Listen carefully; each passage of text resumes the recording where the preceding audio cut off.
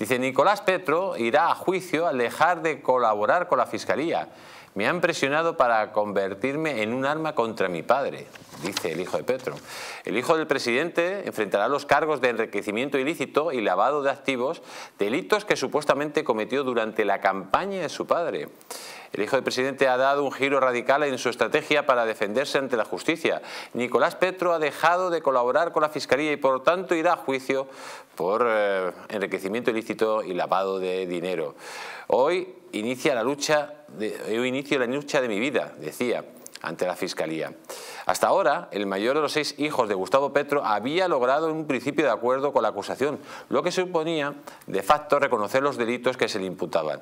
Pero de golpe ha cambiado de táctica y ha preferido encarar un juicio de resultado incierto. Los problemas en los tribunales de Nicolás han sido un verdadero dolor de cabeza para el presidente que hasta ahora, tras 30 años en la política, no se había visto salpicado por un problema de corrupción en su entorno más cercano.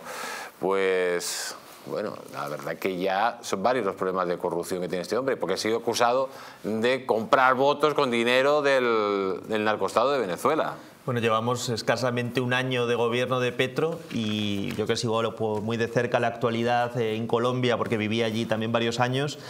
La verdad que preocupa, pero es que es lo que estamos hablando siempre. Eh, suceden, salen noticias, pero no pasa nada. Y se mira para otro lado y se sigue sucediendo. A mí lo que sí que me da tranquilidad es eh, dentro de, nuestros países iberoamericanos es la justicia colombiana, que por lo menos hasta el momento sí que es una de las más sanas de, de Iberoamérica y veremos qué sucede. Hasta, hasta las cifras que tengo yo de este lavado de dinero en campaña son 250.000 dólares que dentro de lo que se mueve en este tipo de campañas electorales tampoco es una cantidad muy grande y no creo que tenga una pena muy alta. Habrá que, habrá que estudiarlo y ver lo que pide la Fiscalía, pero no es una cantidad muy alta lo que se ha descubierto por lo menos hasta el momento.